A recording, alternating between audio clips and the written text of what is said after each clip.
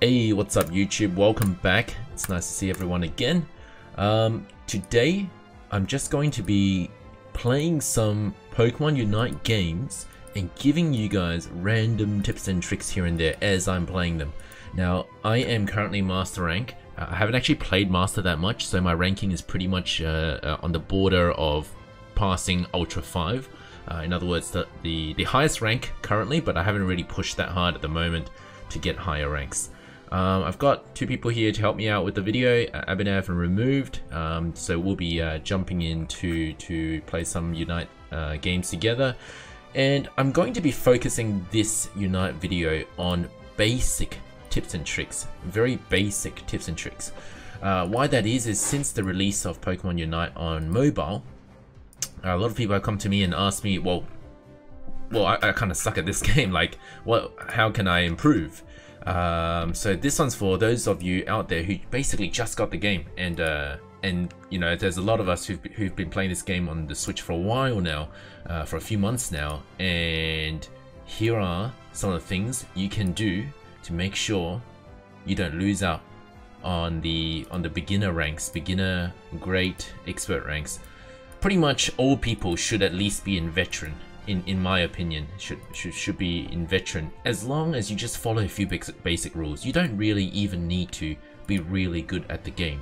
Uh to, for starters the game so since the release of mobile they've given us three super item upgrades to make sure that we've got a leveled playing field. So thankfully you can go straight to the menu. Oh let me just claim this real quick. You can go straight to the uh, your item box. So this is the only way to use it. Go to your item box uh, and go to your super item upgrade. Once you've claimed these super item enhancers and choose three items. But before you do that, I have a very important tip for you guys. Make sure you are choosing the three main items you'll be using on your main character on this account. And why I say this account is because chances are you will run out of item enhancers very soon. Other than the three main, so what, so what you want to do is have a second account where you focus your item upgrades on another, a different set of three uh, items.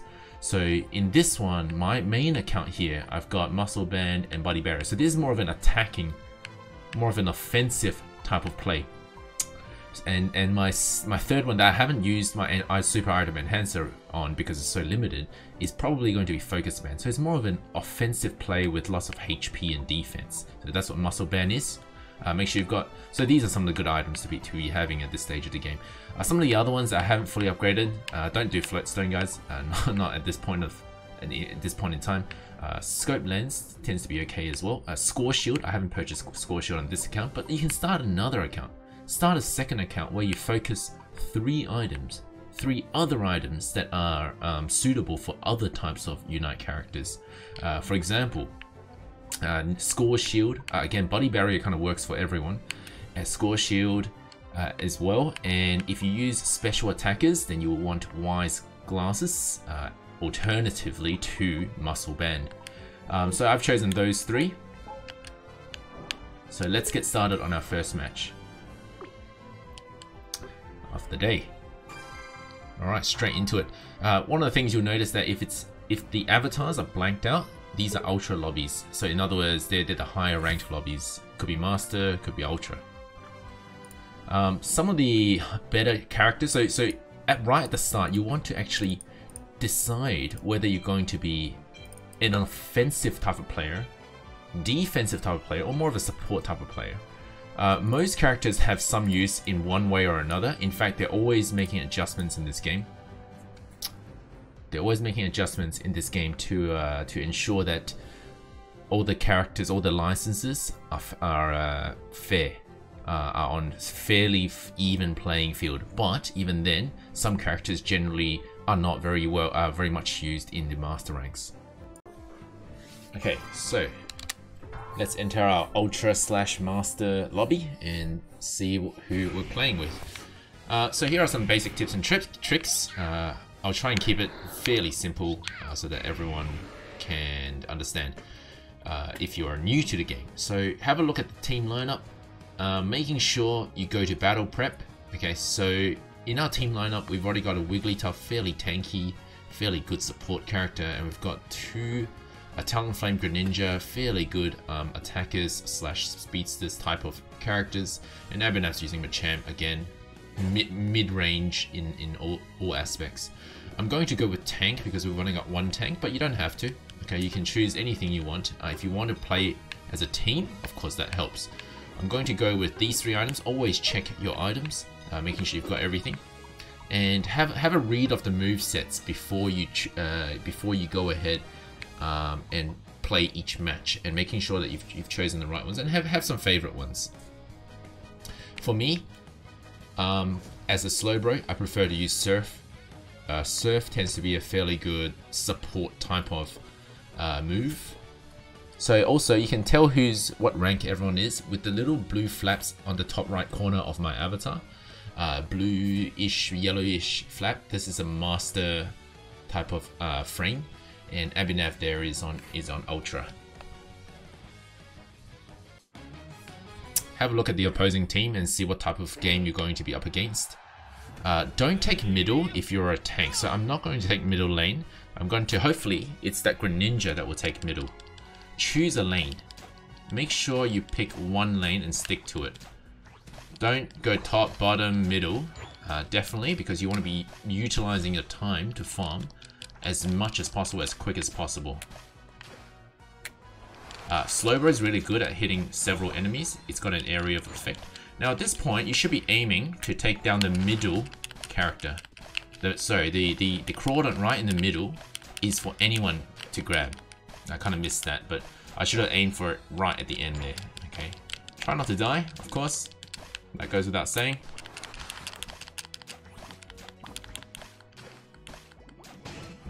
Okay. With Score Shield, it really helps me score, even if I'm being attacked. Okay, especially as a Slowbro. Um, and my Surf has a good stun to it.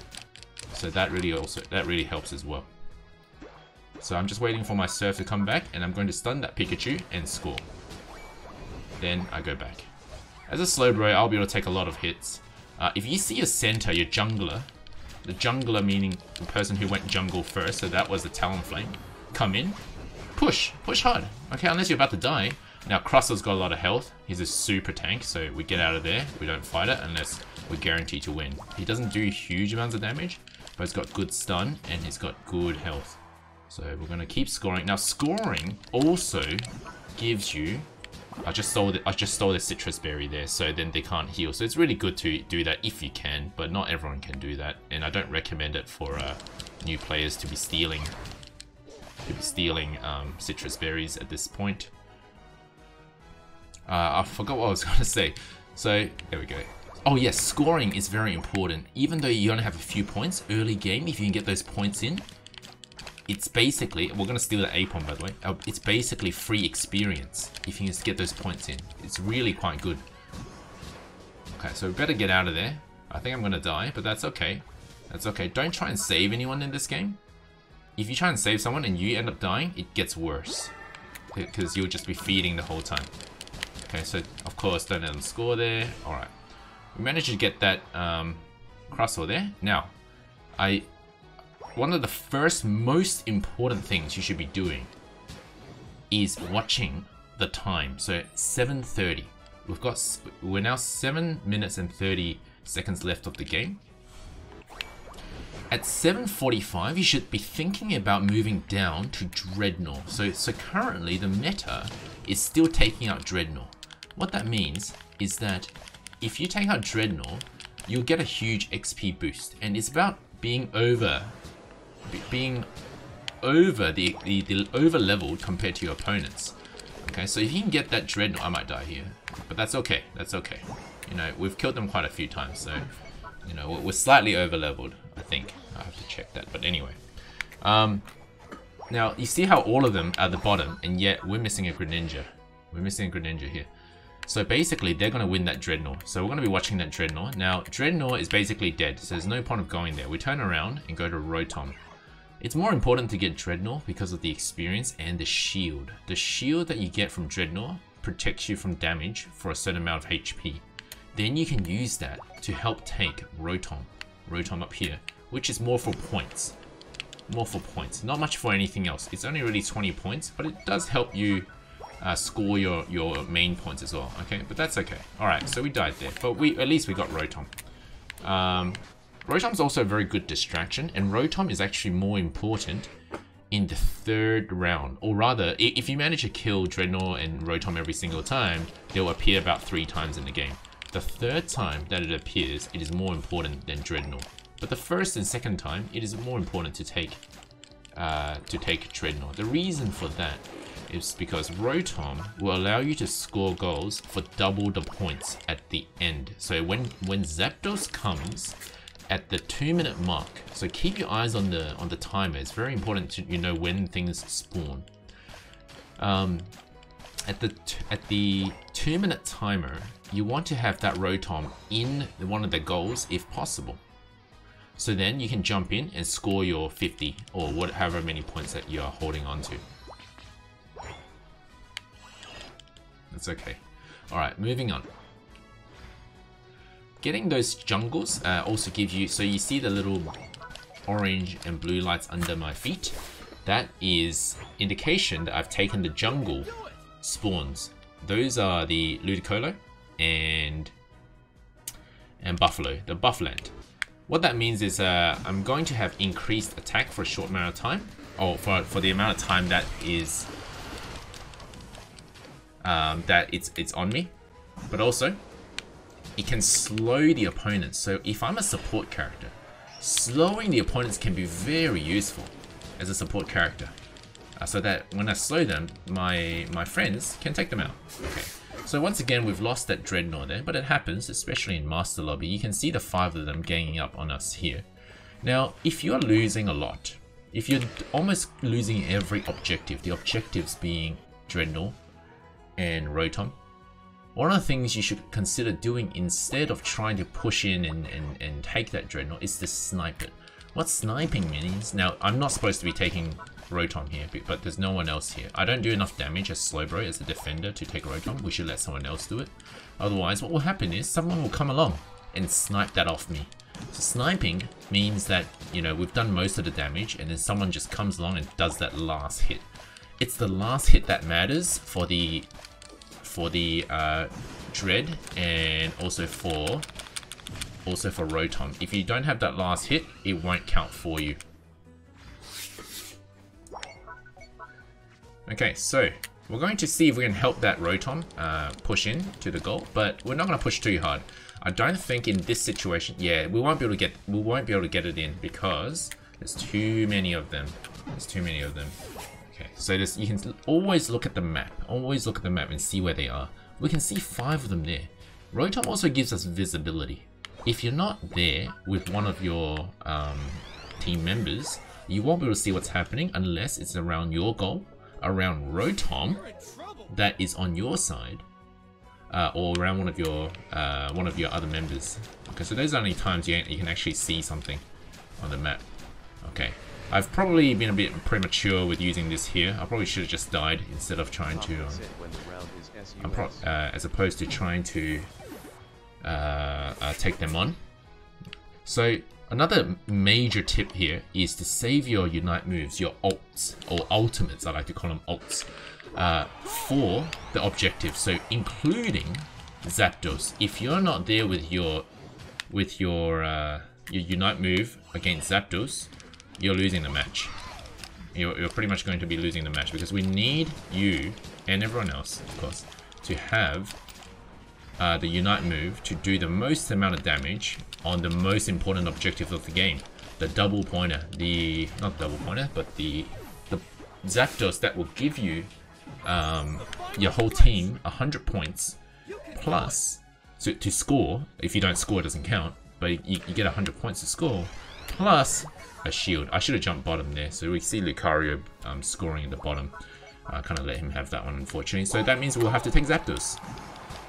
Now, I have a lot more tips regarding to, more, a lot more advanced tips regarding to how to actually beat Zapdos. But, okay, so I managed to kill the Zapdos. Luckily, I'm not the DPS type. I'm not the damage per second, the attacker type uh, as Slowbro. Yet, I still managed to luckily score that, or, or steal that Zapdos. They may have done most of the damage, but it doesn't matter. It's the person who lands the last hit that matters on most of the spawns. Okay, so once Zapdos is active, you can score immediately. There is no wait time. So that's the main thing about having Zapdos. Is uh, you can score pretty much immediately while the timer is on. Uh, you, you've got about like a few, well, maybe like 20 seconds to get this, the points in. I haven't actually counted. Once you've got your points in, now, at this point, I still have enough. I still have enough points to keep scoring. Now, if you're on zero points, you need to go back to uh, your base, and and what you want to do is defend the goal. Defend your goal. Now, I'm going... So normally, unless you have a score shield... So Slowbro actually does have a score shield, but they were doing massive damage on me.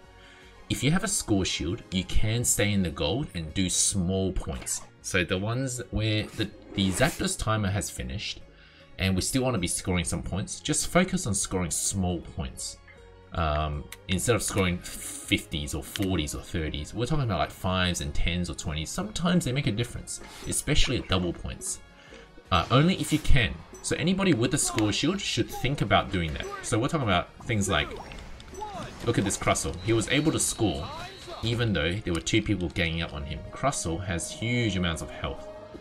And that is why um, he managed to score at the end with his score shield that gives a percentage of increased health, or rather as a shield, um, he managed to score one more time at the end. Uh, but it didn't make a difference for us because Zapdos uh, determined the game there. We got lucky. We kind of won on a coin flip. It's what we call coin flip because it's a 50-50 at that point when, uh, when, when we're depending on Zapdos. Uh, we can see that uh, towards the Zapdos point, when we were on 252 and they were on 285, we can see a little bump up uh, in their points because Lucario scored there. So pretty much securing the win for them had we not taken Zapdos. So think about whether you actually need to take Zapdos. If you're winning by a lot and you don't want to leave it to a coin flip, you at, at Zapdos, you need to protect Zapdos as opposed to attacking Zapdos um, of course, if Zapdos is on a quarter health already, you'd get in there and attack Zapdos and hope that you win. But if it's on full health, don't start attacking Zapdos, leave it alone, um, and focus on getting your team together to take the opponents. Or, or uh, have one or two people go out and score the remaining points that they're holding on to. Alright, so that's the end of our first video on random tips and tricks on how to play Pokemon Unite. If you have any questions, you can leave in the comments below and you can check us out on our Discord channel too and join some of our Unite players. Thanks for watching this video guys, let's aim for 7 likes on this video this time.